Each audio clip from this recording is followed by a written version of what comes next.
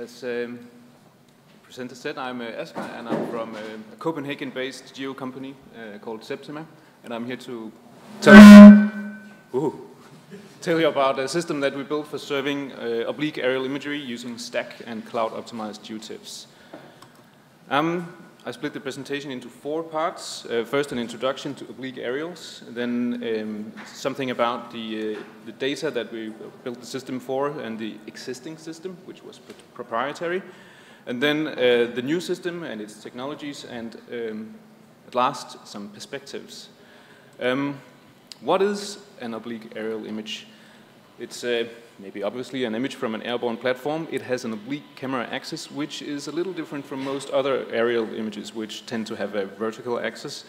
Um, and it is a perspective image, so it's nothing like an orthophoto. Uh, it's, uh, it's more like an, an, image taken with your iPhone or a Canon camera or something like that. That's, an, that's a very important property about, uh, about this uh, data.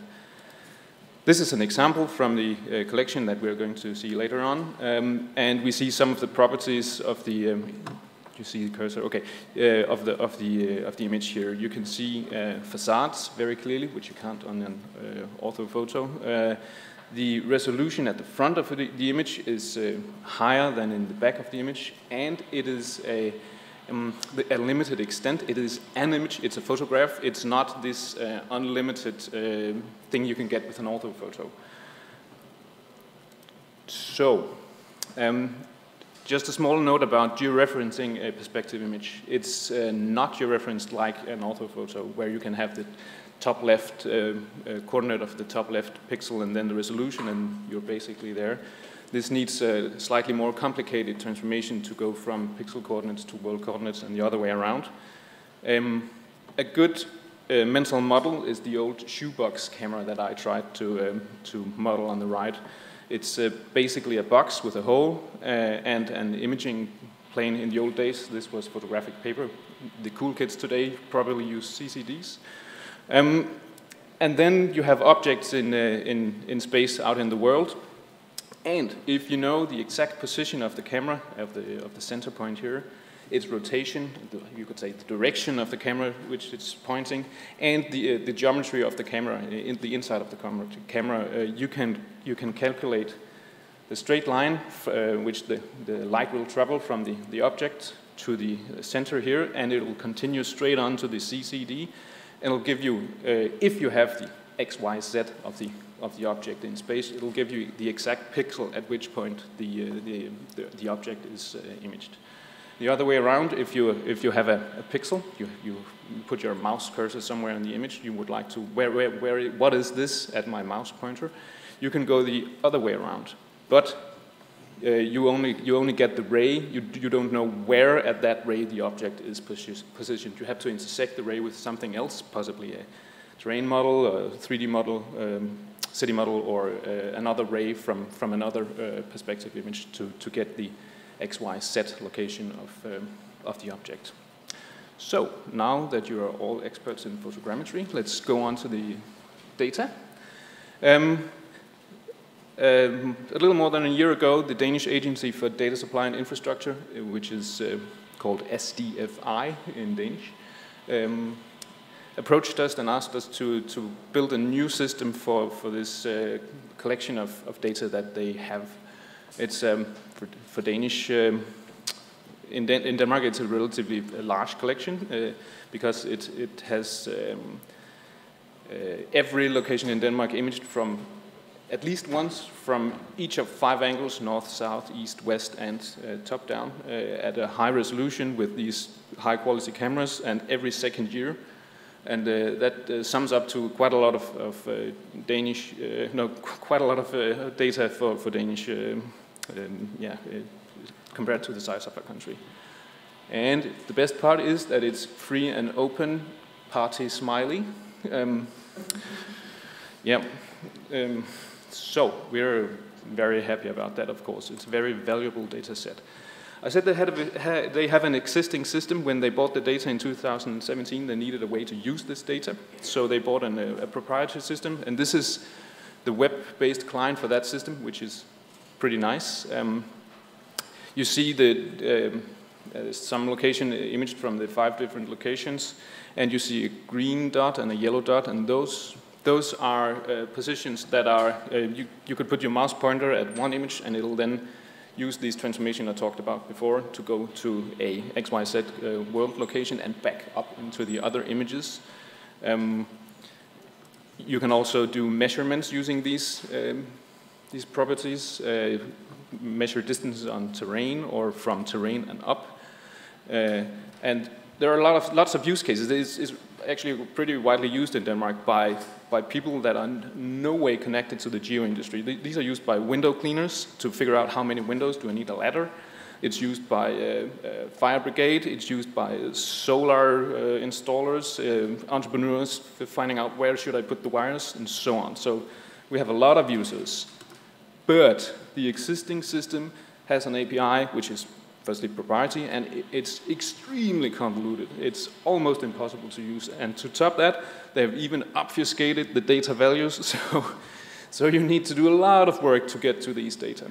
And it makes it very difficult to access for third parties if you don't use their uh, browser-based client. Uh, and that's, uh, that's a huge waste of potential, of course, for free and open data sets. That's, so that's why they asked us to build something different.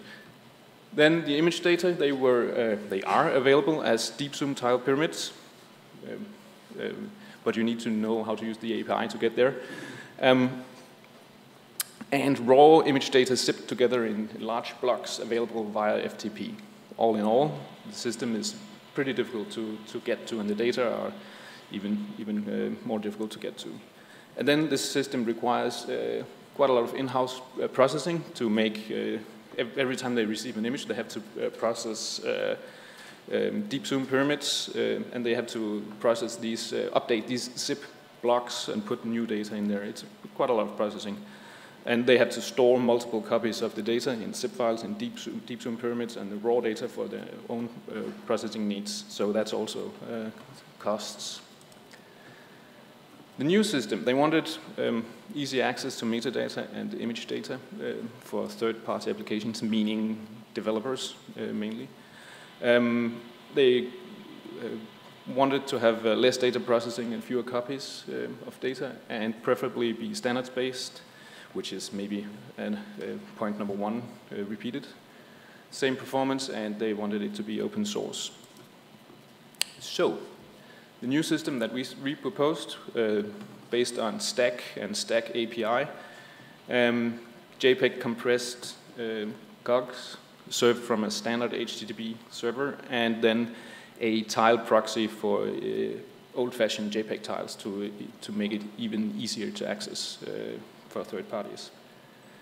And so a little bit about the different uh, parts of that system. Um, why did we go with STAC? Um, the SDFI has, has always been uh, very OGC, but, but uh, even SDFI, they've tried to, to push OGC to, to work on uh, a standard for perspe perspective imagery since they bought their first dataset in 2017. And then nothing has really happened um, except that they have uh, circulated a, a, report that we gave them uh, as a draft uh, spec, apparently no, it's, it's been uh, perceived as a draft spec. That's an important uh, difference. Um, STAC, uh, it uh, lacked a lot of the elements that we needed for perspective imagery, the rotations, the exact location of the camera center, uh, and the camera geometry, but STAC is extendable, so we decided to go with STAC and, uh, and develop an extension to, to have these things be part of, of the STAC item.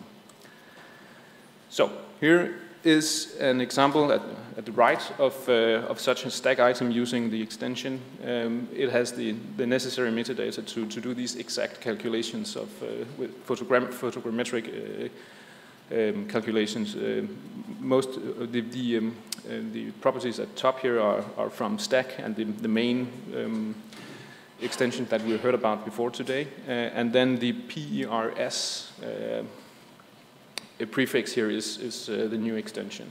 It has the exact location of the camera sensor. It has the rotation matrix to avoid omega, kappa, and phi, which is always making trouble when you try to use it, the rotations that way, for, for those of you who maybe know about photogrammetry. Uh, and then the, the, interior orientation of, uh, of the camera, uh, focal length and so on. Um, but the extension tries to not be only for these uh, highly accurate uh, photogrammetric, photogrammetric, solutions, it also tries to be uh, to make it uh, possible to, to use for uh, less, less images with less known uh, parameters like a Mapillary use case. You have you only you have a user who uses an iPhone, and the thing you know is an approximate location, an approximate azimuth, and maybe the camera model and make. That should also be possible with this extension. Um, so at the moment, the extension, to my knowledge, is used in two systems, uh, the SDFI system and a site called geovisio.fr. And I uh, took uh, an, uh, an, item from GeoVisio, and you see it here, and it, I think it shows the, uh, the, the, the, point about being um, possible to use it for, for something less uh, photogrammetric than our use case. They, they only have a manufacturer model and a focal length. And maybe if you know something, you can, you can extract something more from the, from the camera model. Um, it's, uh, it, the, maturity of the extension is pro proposal, but, but being implemented in two systems, it, it may go to pilot, but feedback is still very much needed and wanted. So please, please go there and uh, and if you have any opinions, uh, ideas, and, or something, let's uh, let's talk about it. Um, the the link is at the end of the of the slideshow.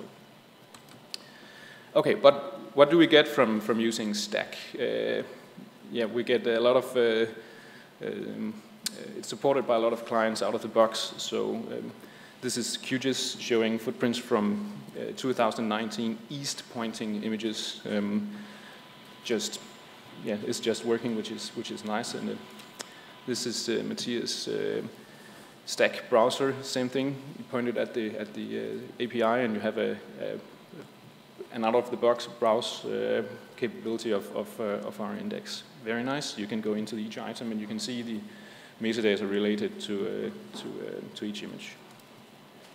So. Once you got the metadata from the STAC API, you you your client could uh, go through, go to the HTTP uh, server and just fetch the, the part of the, the file that it needs, uh, the cloud optimized GeoTIFF. So um, a little word about the, the COGs. Um, it's nice because it, they have uh, built-in tile pyramids. Uh, it's structured so that the client only needs to read the part of the file uh, which is needed, and uh, that gives us fast and efficient access for clients who support uh, reading COGs dynamically. Also, a, a COG is, a, is an ordinary TIFF, so our window cleaner, he can download the file using that, that link. He can use, open it in the Windows Paint or whatever it's called and uh, make marking, markings on it. It'll work like any other TIFF, which is very nice. People that are geo-professionals uh, can, can download it and use it in their TIFF supporting software. What's not so nice is that support for reading COGs is still limited uh, and uh, it's, uh, well, non-existing outside the Geo Society. Um, and uh, support for our uh, kind of uh, GeoTIFFs, which are non-geo-referenced, they have no CRS, they have no affine, affine transformation, so maybe they're not even GeoTIFFs it's even more limited. Some, some uh, readers tend to, to assume that there is uh, CRS and, uh, and transformation and then crash uh, on reading it. So that's why we built also the, the tile proxy, which uh, proxies um, mm, tiles from, from the COGs. Um, we built this small, uh, actually a very small Python project, CogTiler, which uh, serves the internal tiles from, from uh, the cloud-optimized GeoTIFF. So um, they're not georeferenced, so it's, it's just pixel space. It's just a, a, a tiling scheme for a raster. And uh, they are tiled inside the cloud-optimized GeoTIFF. They are JPEG compressed, so when a client asks for a certain tile, the, the, the proxy reads the bytes from the, the, the needed bytes from the, uh, from the TIFF and then passes those bytes directly onto the client without uh, decoding and re-encoding it. So it's, it's pretty fast and pretty effective um, for most requests. Some requests require uh, decompression and, and uh, compression.